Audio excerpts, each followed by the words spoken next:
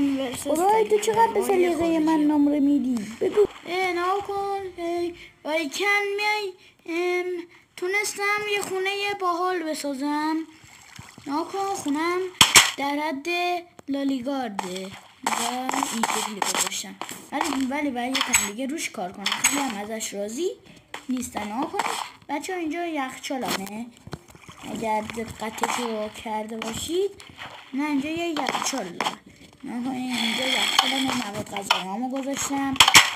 و دیگه همین دیگه. مسئله این همینه. نگاه کن. خوشگل شد. سلیقم عالی. سلیقه من.